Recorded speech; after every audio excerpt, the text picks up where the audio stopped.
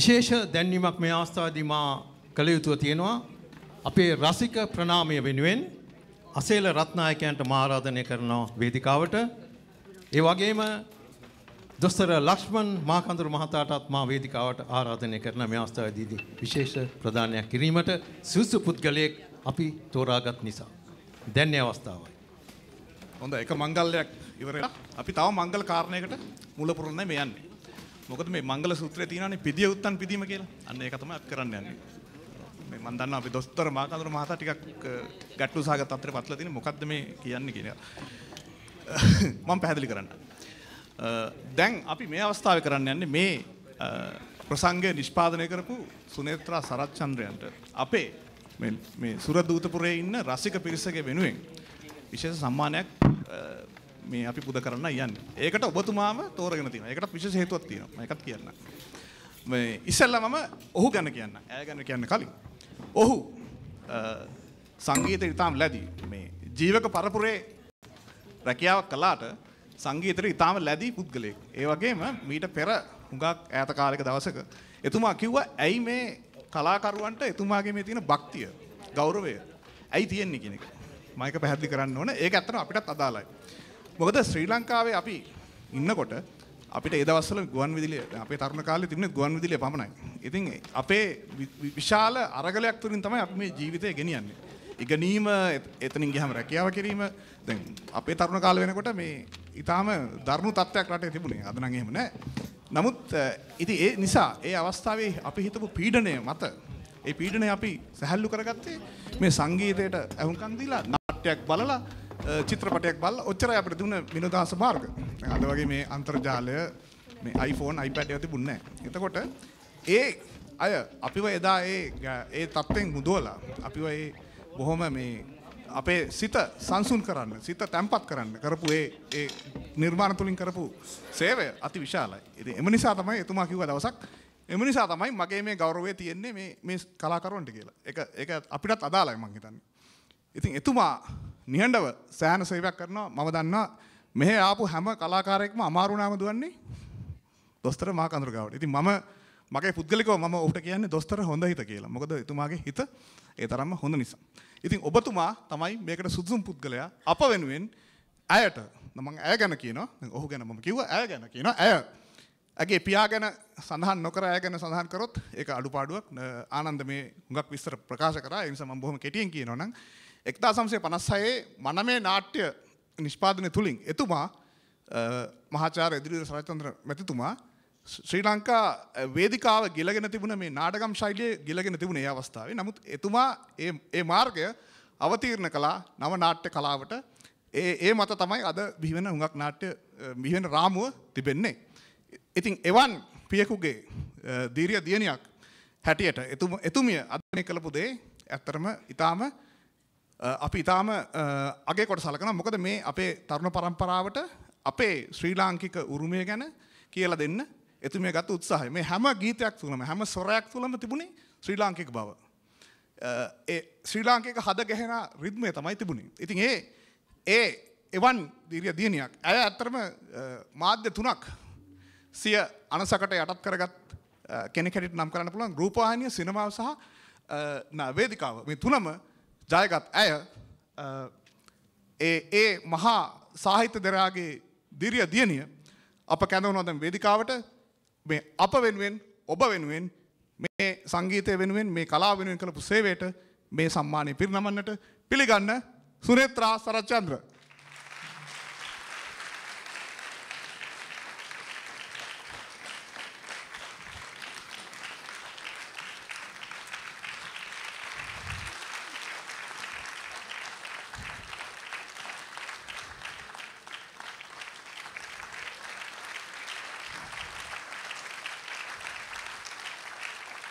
එනම් ඔබට අපගේ ප්‍රණාමය අපේ දරු පරපුරට අපේ දේවල් කියාදීමට හඳුන්වාදීමට ගන්නා මේ උත්සාහයට ඔබට ස්තුතියි.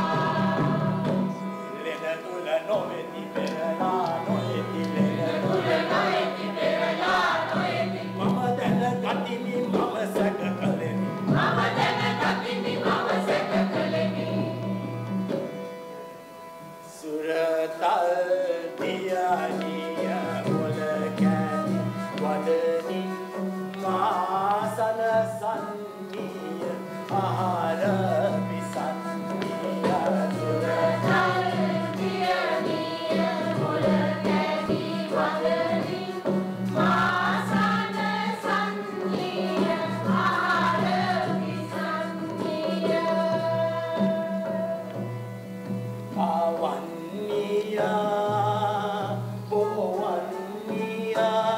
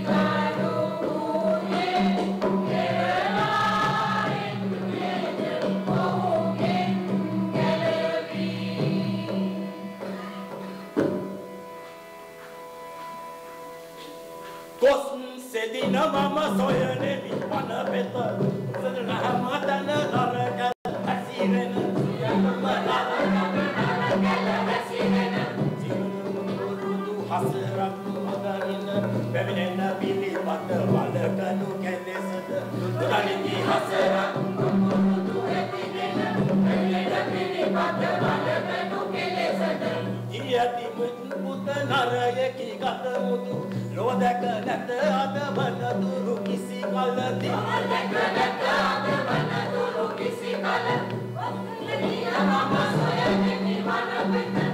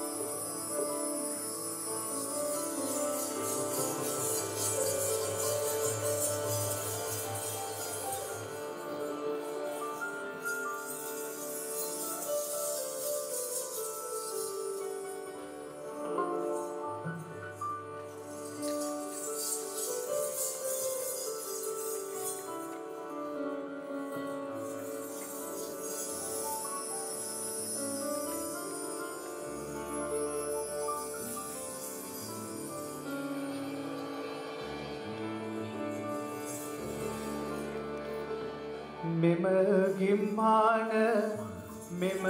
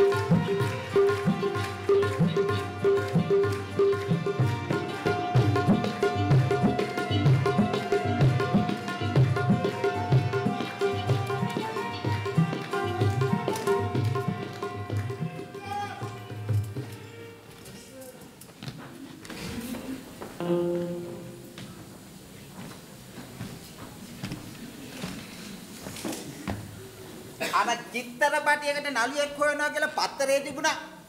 අන්න ඒකටයි මම මේ ආවේ. තමසට පුළුවන්ද මට නළුවෙක් හොයලා දෙන්න? මම තමයි නළුවා. අමුසේ නළුව? ඔව් මම තමයි. මොකද්ද නම? මගේද? අර රාජේෂ් කන්න ඉන්නේ ඉන්දියාවේ. ආගියා මේ වඳින්න ඕන නළුවෙක්නේ. රාජේෂ් කන්න. නෑ නෑ මම රාජේෂ් කන්න නෙමෙයි. රාජේෂ් කන්න නෙවෙයි. ඉන්දියාවේ ඉන්න රාජේෂ් කන්නගේ පරම්පරාවෙන් ලංකාවට ඇවිල්ලා ලංකාවේ පදිංචිලා ලංකාවේ කන්නකේ. ආ ඒ කියන්නේ මේ කන්නගේ પરම්පරාව මේ ඉන්දියාවේ දැන් මේ ලංකාවට ඇවිල්ලා මේ ලංකාව කන්න ආපු කන්නගෙනේ. කන්නලාගෙන් එක්කෙනෙක්. කන්නලාගේ අපේ ඉන්න මහා බර කට්ටියක්.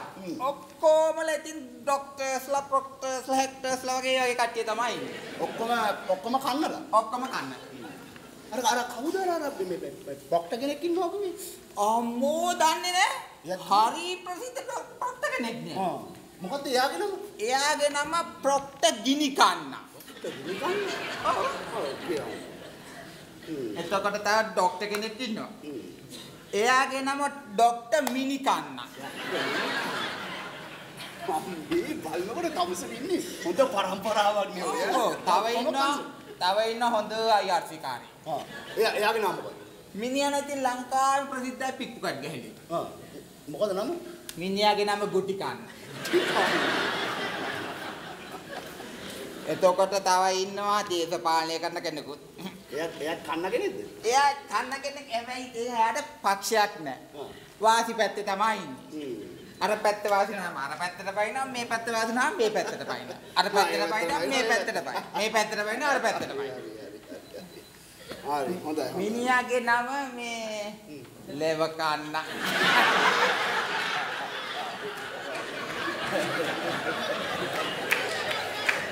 හරි හරි. ඒ කියන්නේ හැම පැත්තටම පැන පැන හරි පර ප්‍රසිද්ධ මිනිස්සු. ආ. හරි හරි. ඒක ඒක ඒක කමන්න ඒක කමන්න. දැන් මේ තමුසේ කිව්වනේ මේ ආ. ආ තමුසේ පොත් එහෙම කියවලා තියෙනවා. පොත් පොත් ඔක්කොම කියවලා තියෙන්නේ. නව කතා, කෙටි කතා, සුරංගනා කතා, මාර කතා, වීර කතා, ප්‍රේම කතා, අර කතා, මේ කතා, කත කතා, කුණු කතා ඔක්කොම කියවලා තියෙනවා. ඔය ඔය පොත් නෙවෙයි මම ඇහුවේ. මේ මේ මේ හොඳ පොත්. හොඳ පොත්. හොඳ පොත් ඔක්කොම කියවලා තියෙනවා. හොඳ පොත්. හරි. හොඳ පොත් කියවලා තියෙනවා නම් මට අහන්න දෙයක් තියෙනවා. එහෙනම් කියනවා බලන්න. හැබැයි මේවට හරියට උත්තර ඕන. හරි. නිකම් මේ මේ වටේට ඒවට කියන්න බෑ. අපේ මේ උරුමය උරුමය හොයාගත්ත කවුද කියනවා පුළුවන්? අපේ උරුමය උරුමය? ලිව්වේ ලිව්වේ කවුද? අපේ උරුමේ හ්ම්. දන්නවනම් කියනවා. දන්නෝ. හරි දන්න.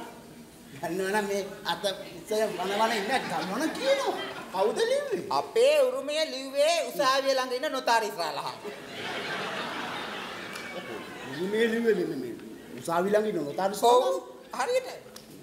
හරිද? හරියට හරියට. හරිනම් හරිද? මම දැනගෙන හිටියේ නෑ ඔය. එහෙනම් දැන් මම ඊළඟ ප්‍රශ්නෙට යනවා. ගන්න එකක් ගන්න. ගන්නවා නම් කියනවා. මේක හැබැයි හොඳට හිතලා මතලා කියන්න ඕනේ. මේක මේ භූගෝල ගැන ප්‍රශ්නයක්. හරි ගන්නවා. පුළුවන් නම් කියනවා මේ බුරුමය. බුරුමය හොයාගත්තේ කවුද කියලා? බුරුමේ? ඔව්. බුරුමේ හොයාගත්ත අපේ මාමා. මේකනේ උනේ අපේ මාමා ඔය ලෙඩකුට දෙන්න කසිප්පු වගේ පෙර පෙර ඉන්නකොට පැන්න පොලිසිය. මිනිහා දුවන දුවන ඇවිල්ලා හැංගුනේ අපේ තාත්තගේ බුදියන ඇඳයන්. එළියට එනකොට ආයි බුරුමෙත් අරගෙන. ඒක මේ අපේ තාත්තගේ නැති වෙච්ච පරණ බුරුමයක්. හරි ඊළඟ ප්‍රශ්නේ. ගන්නවා. එකක් ගන්න. ගන්නව නම් කියනවා ඉතාලිය තියෙන්නේ කොහෙද කියලා. ඉතාලිය? ඔව්. ඉතාලිය තියෙන ගෑණි ඉස්කෝලේ. ඉතාලිය තියෙන ගෑනු ඉස්කෝලේ? ඔව්. අයියෝ දන්නේ නැද්ද? දන්නවනම් කියනවා. ඉතා කියන්නේ ගොඩක්, ලිය කියන්නේ ගැහැණු. ගොඩාක් ගැහැණු සිටිනේ යම් තැනකද එතන ඉතාලියයි.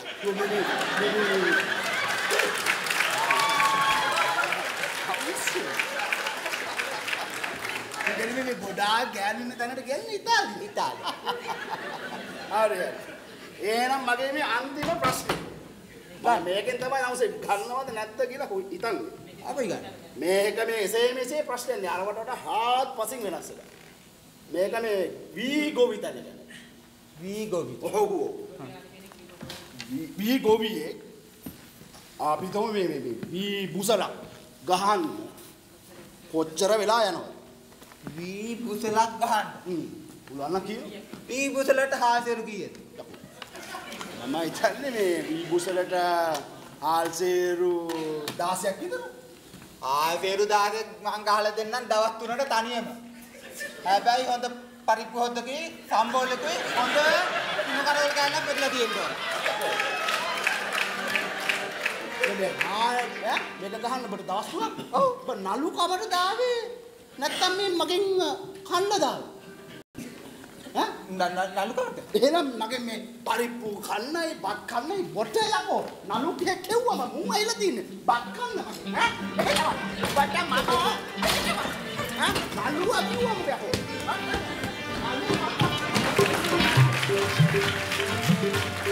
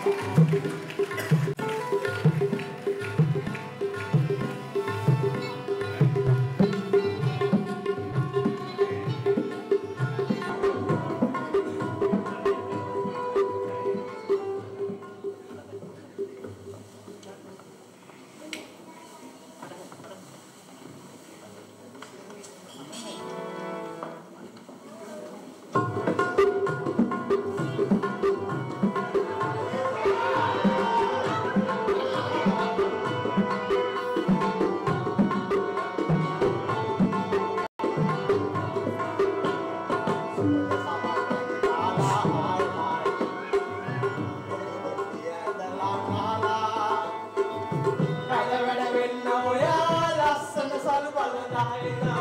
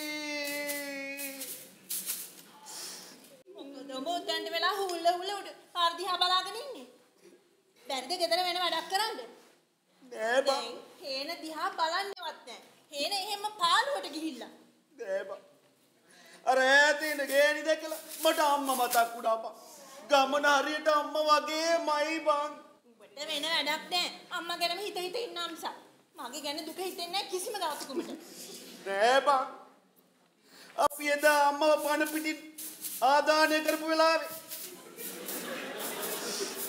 උන්දට මොන තරම් වේදනාවක් දැනෙන්න ඇතිද බං?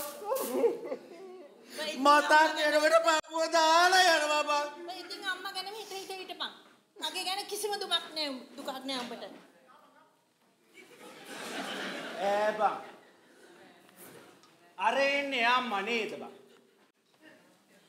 කරත්තය පුරවල බඩු. අම්මා තමයි උඹ එහෙනම් මේ පාරක් කරලා තියෙන තක්කඩිකම. උඹ මාව රවට්ටලා තියෙන්නේ. අම්මා පුලිස්සලා කියලා උඹ මාව රවට්ටලා තියෙන්නේ. ඇයි බල යෝධියේ උඹ බලාගෙන ඉන්න ඇද්දක මම ඇඳට ගිනි තිබ්බේ උඹ මාව මේ පාරක් රැවට්ටුවා. මා තමයි අම්මේ උචාරෝට ඇඳ පාදක වරෙන්කෝ උඹම ඇගල බලාපන් ඇත්තනේ එන්නම්. උඹ එහෙනම් මාව මේ පාරක් රැවට්ටුවා. මට බෑ උඹලා අම්මා එක්ක මෙතන වාසය කරන්න. මං යනවා. මං ගිහලා ෆන්නේ වලින්නේ. පැනවියලින්දේ අම්මා තමයි අඩේ අම්මේ දෙවියනේ අම්ම බලන්න කොච්චර වාසනාවද කරත්තයක් පුරෝල බඩු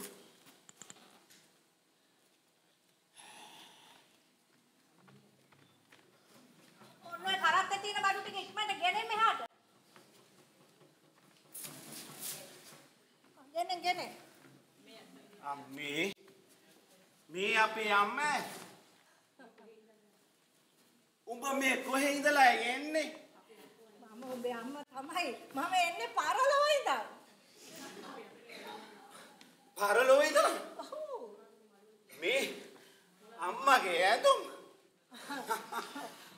ඕ මේවා බොහොම මිල ඇඳුම්. මේ මේවට තමයි කම්බා කියන්නේ. මොනවද මේ මේ මේ මේ මලුවල රත්තරන් පුතේ රත්තරන්. රත්තරන්?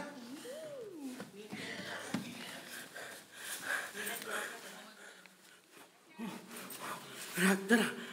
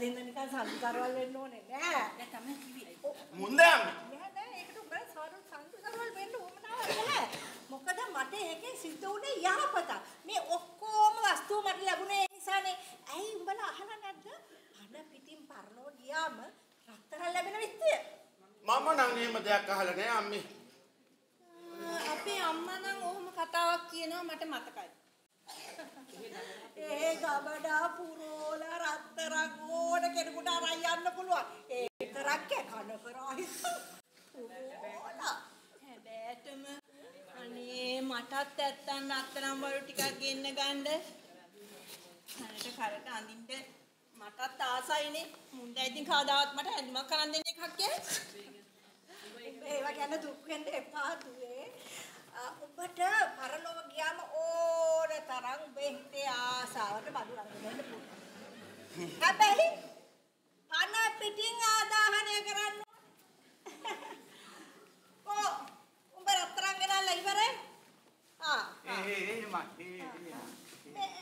මෙන්න මේක මේක තියාගන්න උඹේ මහන්සියට. දෙයියෝ බුදු වෙන්න ඕන. දෙයියෝ බුදු වෙන්න. ඔබ වහන්සේ නිවන් දැක බුදුන් දැක නිවන් දකින්න ඕන. අපේ අම්මා කරපු පිනට මට මියා දෙනකම් කිසි දුකක් නැතුව නිවිහැනිහිල්ලේ ජීවත් වෙන්න පුළුවන්. එන්න. ඵලයන් කොහෙන්ද? මුදින් ජීවත් වෙන්න ඈ? අපේ අම්මට හරියට ගරු සම්මාන ලැබෙනවා නේද? වස්තුව තියනවා නම් කාගෙන්ද ගරු සම්මාන ලබන්න බැරි? දුප්පත්කමට බෙදෙනාට වඩා හොඳයි නරක හරියට යන එක. මට මෙහෙම මොකටද ජීවත් වෙලා? අම්මේ වෙන කෙනෙකුට බැරිද මං වෙනුවට පරලෝ යන්න? ඔව් ඉතින් එහෙමත් බැරි නෑ. ඒ වුණාට දුවේ මන් නම් හිතන්නේ උඹම ගියොත් හොඳයි කියලා. මොකද එතකොට ඒ උඹට ඕන කරන විදිය කන කර ආයිතන් තෝරගෙන එන්න පුළුවන්. අනික ඉතින් මම කොහොමද දන්නේ? මුන්දට ඕන බඩු. උඹ ඔහම කියන්නේ අඬ අකමැති හින්දා. උඹ ගිහිල්ලා රත්තරන් මලු ටිකක් අරන් වරෙන්. එතකොට අපිට පුළුවන් ඉඩම් කෑල්ලක් අරගෙන ගෙයක් දොරක් හදාගෙන මිනිස්සුયો වගේ ජීවත් වෙන්න. මං උඹට කාරණාවක් කියන්න ඕනේ. උඹ දැම්මම ගිහිල්ලා ඔය කන කර බඩු ගෙනේ. මොකද දන්නවද මම ගිය වෙලාවේ මිනිස්සු ඇවිල්ලා පුරෝගෙන යනවා මම දැක්කා. ඉතින් ඔය ගෙනාපු රත්තරන් මල් වලින් කීපයක් ඉතින් මට උඹට දෙන්න බැරියේ. ඇත්ත තමයි. කණ්ඩ කඩ අඳින්න දෙයක්වත් නැතුව එළියට බහින්නත් ලැජ්ජයි. අහල පහල ගෑනුවා නම් මේ මිනිහ මට ඇඳුමක්වත් අරන් දෙන්නේ නැද්ද කියලා. එහෙනම් ඉක්මනට යමු නේද? අම්මේ පරලොව ගියාම පරලොව පණ පිටින් යනකොට අමාරුවක් දැනෙන්නේ නැද්ද? පොඩි අපහසු ගතියක් දැනෙනවා මුලදී. එක වෙලාවක් යනකොට උක දැනෙන්නේ නෑ. අපි එනම් දැම්ම මෙයමු නේද දුන්නේ? අනේ අම්මේ එහෙනම් මාව ආදාහනය කරනවද? මොකෝ නැත්තේ. මොකෝ නැත්තේ. මම මේ එහෙම කෙලේ ගුණ රසලකන ගෑනියෙ නෙමෙයි. උඹ මට කරපු යහපත හින්දා මමත් උඹට යම් කිසි යහපතක් කරන්න මේ පෑදුවේ. දැන් ඉතින් යන් මොකටද ආයි කල් දදා ඉන්නේ නේද? නැතුවම්. ආ පුතා එනවා නේද මට මේ ගින්දර ටිකක්. අනිකම යමුවා. දර ටිකක්. මම එනවා. මෙහෙම එනවා නෙමේ. එළව ගින් ආපුවම රත්තරන් බඩු ඉල්ලගෙන. ආ හා හා ඒක ඉතින් එලෝ ගිහිල්ලා ආවට පස්සේ බලන්න බැරි ඈ. ඒක නෙමෙයි. මම කියන විදියට හොඳට ඉන්න ඕනේ. ටිකක් ඔය ගින්දර ඇවිලෙනකොට පොඩි අපහසු ගතියක් දැනෙනවා. ඇස් දෙක පියාගෙන සද්ද නැතුව ඉන්න ඕනේ. ටික වෙලාවක් යනකොට එළව පේනවා. මගේ අත්දැකීම මම කියන්න දුවේ. එහෙනම් යන් අම්මේ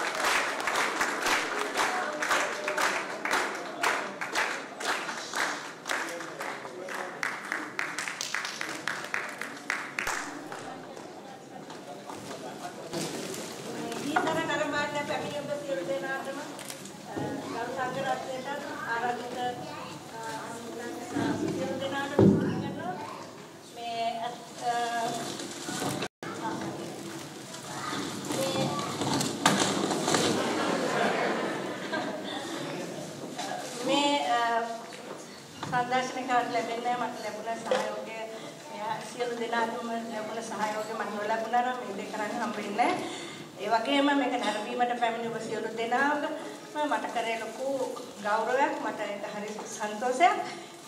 මම හිතනවා ඔයගොල්ලෝ සියලු දෙනාම මේක ඉතාමත් රසවින්දා කියලා.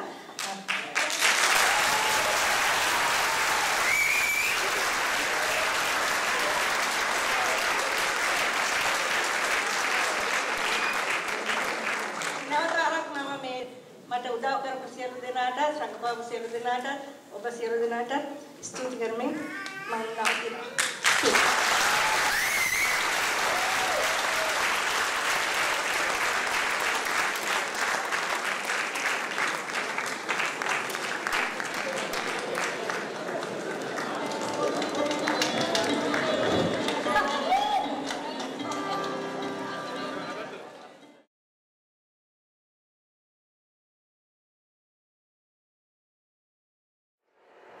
ගීසර රංගන ප්‍රසංගය ඉදිරිපත් කරන්න ගොඩක් හේතු අ, මට තියෙනවා. ඇත්තටම ප්‍රධාන හේතුව තමයි මේ අප අපේ රටේ අ, තිබුණ මේ නාට්‍ය කලාව. දැන් අ, දශක කීපයකට පෙර ඉතාම ඉහළ මට්ටමකින් අ, අපේ නාට්‍ය කලාව තිබුණා. ඒ ඒ ඉහළ මට්ටමේ තිබුණු නාට්‍ය කලාව පිළිබඳව හැඟීමක් හුඟ දෙනෙකුට දැන් නැහැ කියන එක මට තේරුම් ගියා. ඉතින් මට හිතුණා යම් කිසි විදියකින් අපේ රටේ තිබුණ නාට්‍ය කලාවේ අ, ඉහළ මට්ටම විදහා දක්වන්න මම යම් දෙයක් කරන්න ඕන කියන හැඟීම. ඉතින් ඒක තමයි මුල්ම හේතුව උනේ මට මේ කීසරවංගන ප්‍රසංග ඉදිරිපත් කරන්න.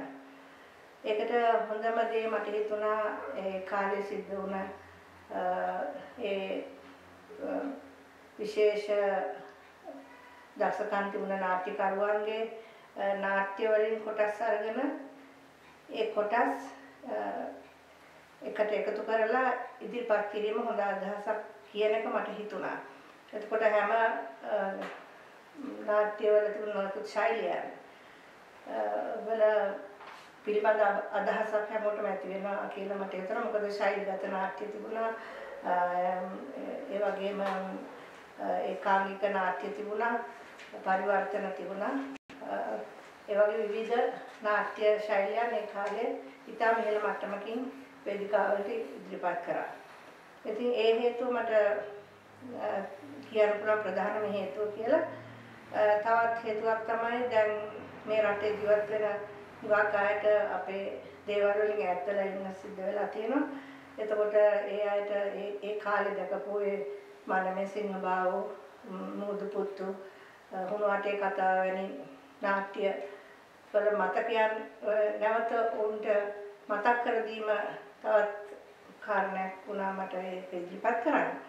අ, අනිත් එක මෙහි ඉන්න තරුණ පරම්පරාවට අ, අවබෝධයක් නැහැ කියන එක මට තේරුණා අපේ රටේ තිබුණ අ, නාට්‍ය කලාවේ සහ අ, අනිත් හැම කලා ශාස්ත්‍රයන්හිම තිබුණ ඉහළ මට්ටම ගැන අ, ඔවුන්ට කිසිම අවබෝධයක් නැහැ කියන එක මට හුඟක් දේවල් වලින් හැඟුණා. ඒකෝට ඒගොල්ලන්ට ඒ අ, අවබෝධය ලබා දෙන්න වෙන කිසිම ක්‍රමයක් නැහැ. මොකද ඒගොල්ලන් දකින්නේ දැන් අ, මෙහි ඉදිරිපත් කරන සරල නැටුම් ගැයුම් වගේ දේවල් පමණයි.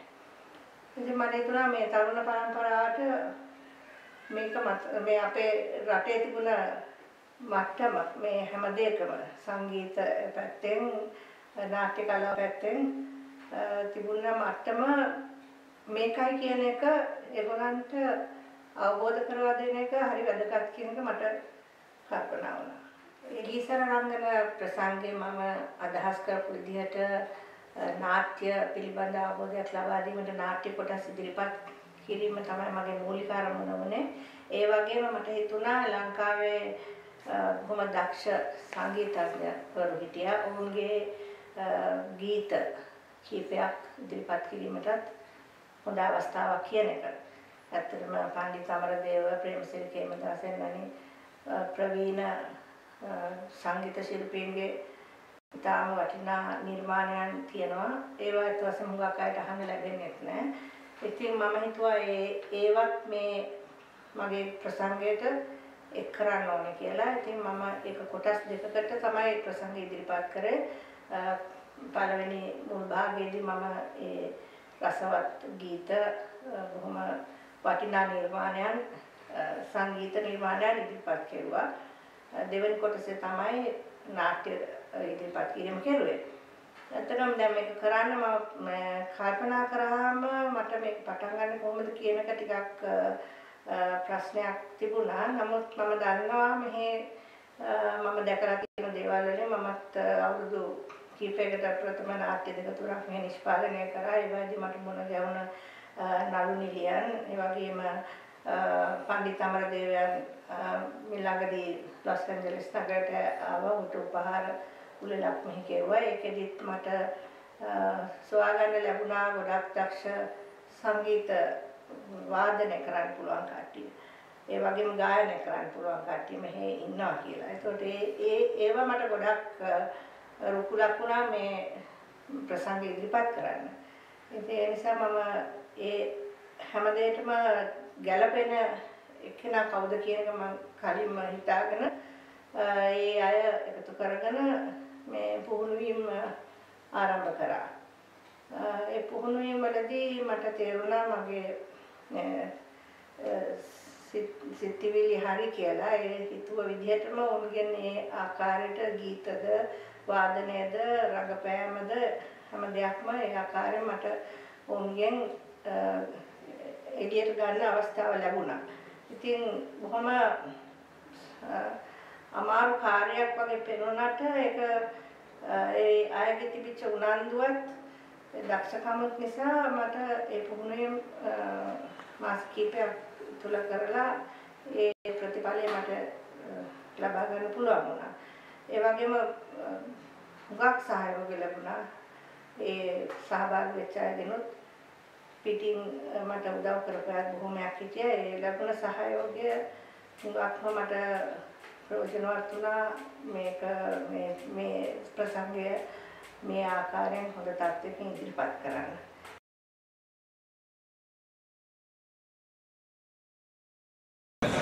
අයිබෝවන් මම බුද්ධිකයක නායක. අද ලොස් ඇන්ජලිස් නුවර ශ්‍රී ලංකිකයට විශේෂ දවසක්.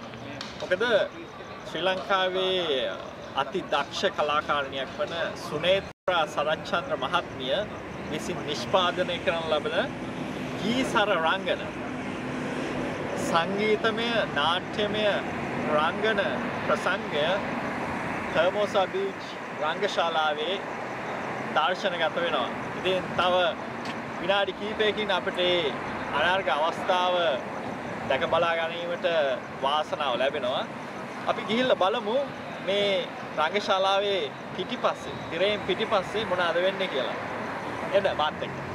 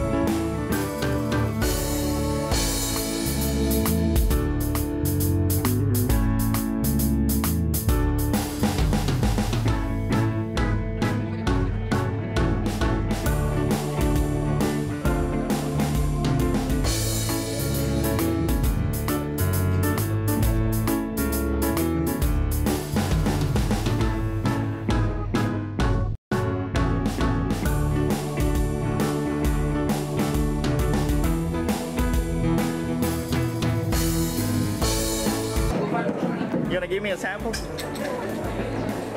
what? Sample of uh, drumming. Hold on, hold on. Go ahead.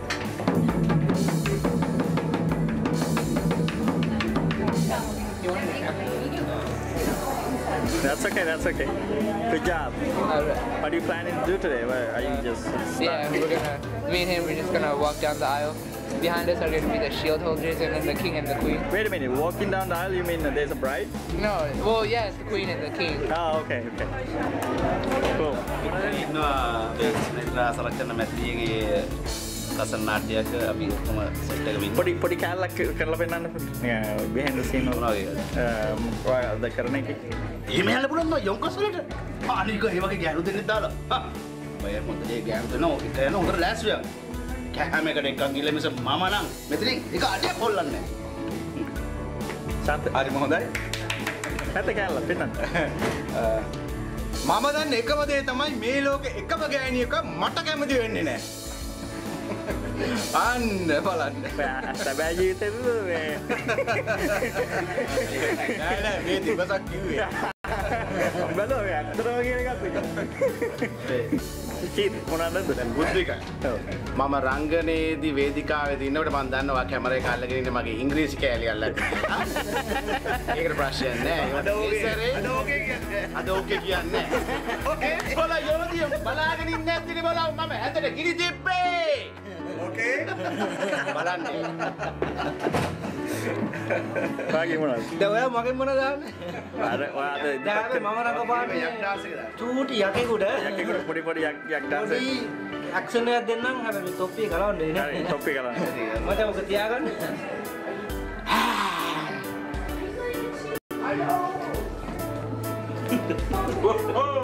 කට්ටිය බයලා ඇයි වගේ මම හිතන්නේ එන ඉන්න කට්ටිය හැබැයි මම ඇත්තම යකෙක් නෙමෙයි.